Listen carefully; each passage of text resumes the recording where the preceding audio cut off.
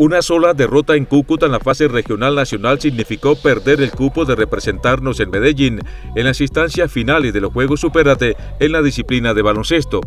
Pero esta nueva experiencia permite que el proceso continúe y sigan fortaleciendo este deporte entre los alumnos del técnico Alfonso López. Cuando se perdió el partido las niñas se sintieron un poco mal, pero eh, les di ánimo, les dije que habíamos llegado muy lejos, lo que importaba era la experiencia, que teníamos que trabajar más duro todavía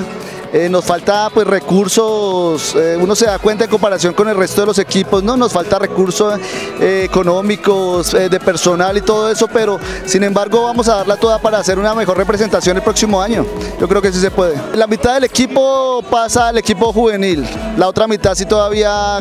les queda un año en esa categoría,